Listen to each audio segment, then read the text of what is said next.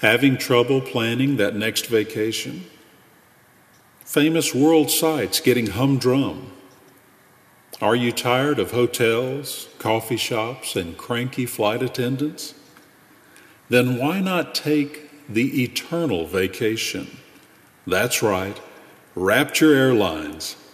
You don't even have to go to the airport. No, Rapture Airlines is taking off right from where you stand. And your flight? Oh boy. Plenty of leg space, music by the Archangel, and complimentary glasses of living water. And that's just the start. When you arrive at your destination, there's no waiting in a crummy hotel lobby. The owner himself will be there to greet you with the keys to your own private mansion. It's so beautiful, you'll think you're in heaven. Well, you are.